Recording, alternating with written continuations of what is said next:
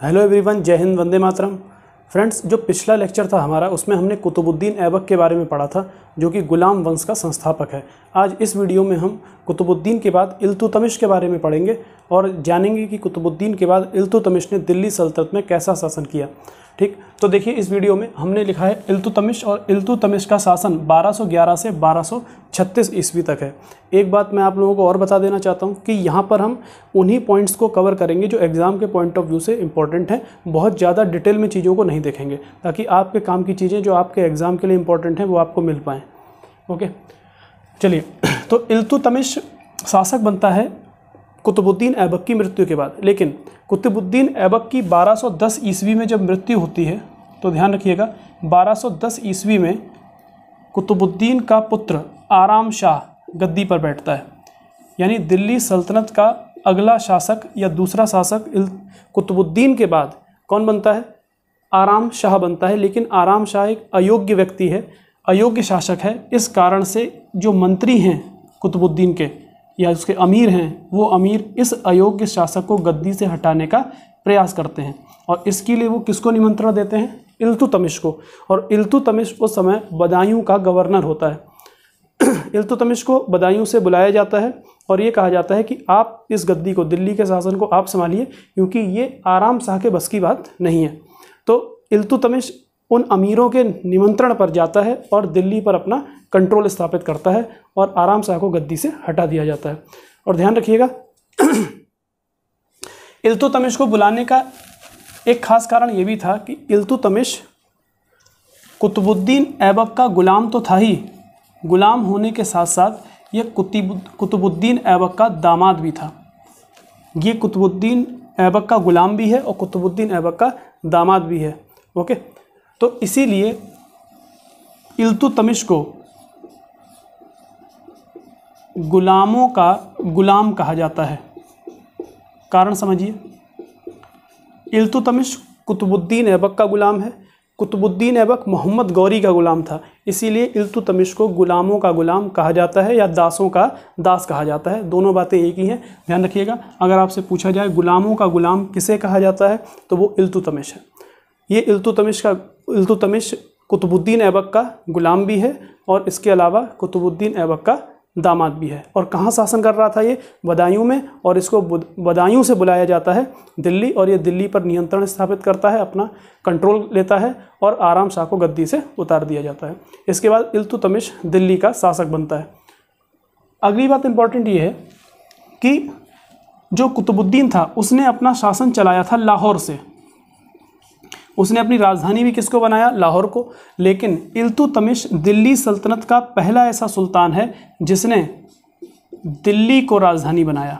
इसी कारण से, ध्यान रखिएगा, अगला फिर क्वेश्चन एक आएगा कि दिल्ली सल्तनत का वास्तविक संस्थापक कौन है? तो दिल्ली सल्तनत का वास्तविक संस्थापक इल्तुतमिश है। ये सवाल कई बार पूछा जा चुका है। ध्यान रखिएगा, दिल्ली सल्तनत का वास्तविक संस्थापक इल्तुतमिश को माना जाएगा। किसको? इल्तुतमिश। किस शासक ने दिल्ली को राजधानी बनाया? तो वो इल्तुतमिश। ठीक? इल्तुतमिश। ये दोनों पॉइंट्स आपको याद रखने हैं। दोनों इंपॉर्टेंट हैं। अब देखिए, अब इल्तुतमिश क्या करता है? शासक बनने के बाद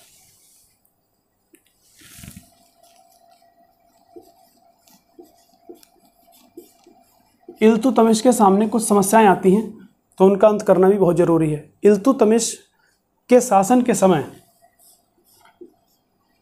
एक व्यक्ति है यालदौज। इसके बारे में हम पहले पढ़ चुके थे, ताजुद्दीन यालदौज। ये ताजुद्दीन यालदौज मोहम्मद गौरी का गुलाम है। और कुतुबुद्दीन ऐबक भी किसका गुलाम था? मोहम्मद गौरी का। और पिछले वीडियो में हमने देखा था कि मुख्य रूप से जो चार गुलाम थे मोहम्मद गौरी के, उनको अपना अलग अलग क्षेत्र सौंपकर मोहम्मद गौरी वापस चला गया था। तो उनमें से ही एक गुलाम था ताजुद्दीन यालदौज और इस व्यक्ति को भी शासन सौंप वो कहाँ चला गया था? वापस चला गया, जहाँ वो रहता था।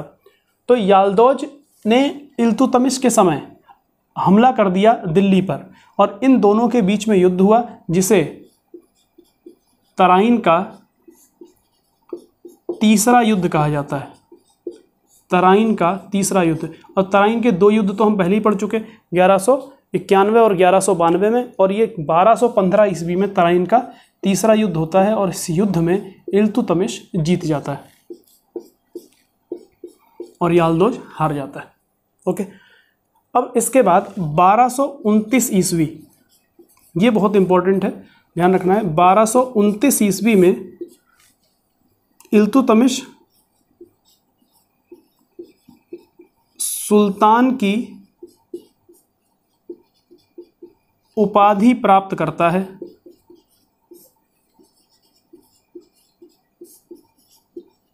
खलीफा से।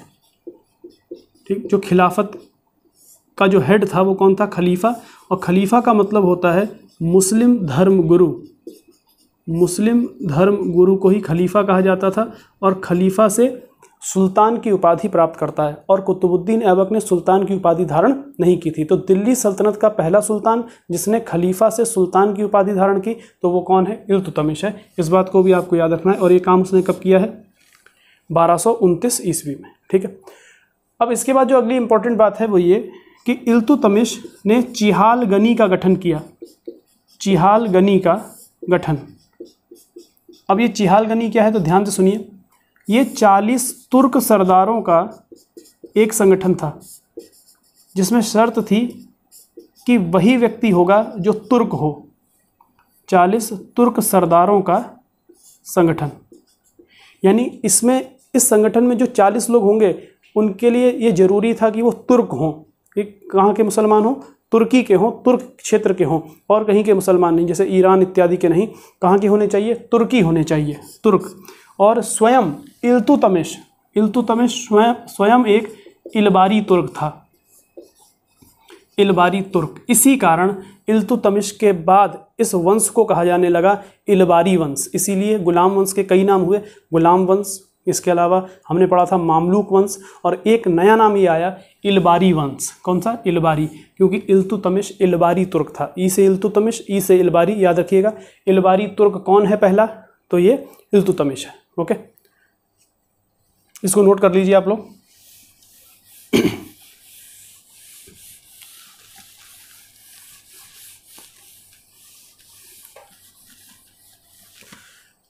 अब हम लोग देख लेते हैं इल्तुतमिश के बारे में एक दो इंपॉर्टेंट पॉइंट और। इकता व्यवस्था। इकता व्यवस्था। की शुरुआत करने वाला व्यक्ति कौन था? तो वो भी इल्तुतमिश। इल्तुतमिश ने इकता व्यवस्था की शुरुआत की है। इल्तुतमिश के द्वारा इकता व्यवस्था की शुरुआत की और इकता व्यवस्था का मतलब होता था कि सैलरी के बदले ज़मीन देना। किसी भी व्यक्ति को सैलरी के बदले आप क्या दीजिए, अधिकारी हैं आपकी सेना के, उनको जो आप सैलरी वगैरह देते हैं, जिसमें आप नगद वेतन दे सकते हैं, सोना चांदी दे सकते हैं, मोहरें दे सकते हैं, उनके स्थान पर क्या देने लगेंगे? ज़मीन। इसी को क्या कहा जाता था? इकता व्यवस्था। ठीक है? इकता व्यवस्था। अब देखिए। इल्तुतमिश के द्वारा बनवाए गए कुछ स्थापत्य, जो कि एग्ज़ाम के पॉइंट ऑफ़ व्यू से बहुत इंपॉर्टेंट है। तो सबसे पहला स्थापत्य हम लिखेंगे, सुल्तान गढ़ी का मकबरा।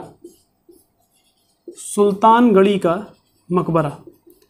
और इस मकबरे को इल्तुतमिश ने दिल्ली में बनवाया और ये मकबरा उसने अपने पुत्र की याद में बनवाया। उसके पुत्र की मृत्यु हो गई थी और पुत्र का नाम था नसीरुद्दीन महमूद। नसीरुद्दीन महमूद। अपने पुत्र नसीरुद्दीन महमूद की याद में इल्तुतमिश ने कौन सा मकबरा बनवाया? तो आप ध्यान रखेंगे सुल्तान गढ़ी का मकबरा। और ये भारत में बनने वाला पहला तुर्क मकबरा था। तुर्की ढंग से बनने वाला भारत के अंदर पहला मकबरा, जिसका नाम था सुल्तान गढ़ी का मकबरा। दूसरा इसने बनवाया अपना स्वयं का मकबरा, इल्तुतमिश का मकबरा, और ये भी कहाँ है? दिल्ली में। दिल्ली। तीसरा है मोस्ट इंपॉर्टेंट लगा लीजिए इस पर यह है अतारकिन का दरवाज़ा। अतारकिन दरवाज़ा। और ये अतारकिन दरवाज़ा इसने बनाया? नागौर में। कहाँ बनवाया? नागौर में। और नागौर कहाँ है? राजस्थान में। और ध्यान रखिएगा, सवाल अगर एग्ज़ाम में आता है कि अकबर को बुलंद दरवाज़ा बनवाने की प्रेरणा कहाँ से मिली तो वो प्रेरणा मिली है अतारकिन दरवाजे से। उसने बुलंद दरवाज़ा जो अकबर ने बनवाया, फतेहपुर सीकरी में जो है, उसको बनवाने की प्रेरणा उसे कहाँ से मिली थी? इसी अतारकिन के दरवाजे से। ये इसके द्वारा बनवाए गए कुछ महत्वपूर्ण स्थापत्य हैं जो आपको याद रखने है इसके अलावा इसने हौज ए शमशी भी बनवाया। हौज ए शमशी। हौज ए शमशी भी बनवाया। और इसके अलावा इसने कुतुब मीनार का निर्माण कार्य भी पूरा करवाया। कुतुब मीनार का निर्माण पूरा करवाया। और कुतुब मीनार बनना किसके समय में शुरू हुई थी? तो कुतुबुद्दीन ऐबक के समय में। अब वहाँ पर हमने ये बात नहीं देखी थी कि कुतुब मीनार के बारे में कि कुतुब मीनार किसके नाम पर रखा गया इसका नाम या फिर किसकी याद में बनवाई गई। तो यहाँ सुन लीजिए ध्यान से। जब कुतुब मीनार की बात करें और आपसे एग्ज़ाम में सवाल पूछा जाए, इसका नाम कुतुब मीनार क्यों पड़ा है? तो ध्यान रखिएगा, कुतुबुद्दीन ऐबक के नाम पर नहीं पड़ा। ये पड़ा था कुतुबुद्दीन ऐबक के गुरु का नाम था कुतुबुद्दीन कुतुबुद्दीन बख्तियार काकी। ये कुतुबुद्दीन ऐबक के गुरु थे। कुतुबुद्दीन बख्तियार काकी। इनके नाम पर कुतुब मीनार नाम पड़ा है। तो मीनार का नाम किसके नाम पर है? कुतुबुद्दीन बख्तियार काकी के नाम पर। इस चीज़ को आप ध्यान रखना। और कुतुब मीनार की ऊंचाई बहत्तर दशमलव पाँच मीटर है। ये इसकी ऊंचाई है। और इसमें ऊपर तक जाने में तीन सौ उनासी सीढ़ियाँ हैं। हालाँकि ये इतनी इम्पोर्टेंट बात है नहीं, लेकिन है तो हम लिख लेते हैं, सीढ़ियाँ हैं। इसके अलावा कुतुब मीनार पाँच मंजिला ऊँची है। इसमें पाँच मंजिलें हैं। कितनी मंजिलें? पाँच। पाँच मंजिल। और इसकी पाँचवीं मंजिल का निर्माण करवाया था फिरोज शाह तुगलक ने। ध्यान रखिए, सबसे पहले ये कितने मंजिल तक थी? चार मंजिल तक। ठीक है? यानी जब इसने कुतुब मीनार का निर्माण पूरा करवाया इल्तुतमिश ने तो ये चार मंजिल तक थी। लेकिन बिजली, आसमानी बिजली गिरने की वजह से चौथी मंजिल को नुकसान पहुँचा। तो उस चौथी मंजिल की मरम्मत भी फिरोज शाह तुगलक ने करवाई है और उस पर एक और पाँचवीं मंजिल का निर्माण भी किसने कराया? फिरोज शाह तुगलक ने। तो जो पाँचवीं मंजिल है, कुतुब मीनार की पाँचवीं मंजिल, इसका निर्माण करवाया है फिरोज शाह तुगलक ने, F S T. Firoz Shah Tughlaq. ठीक है?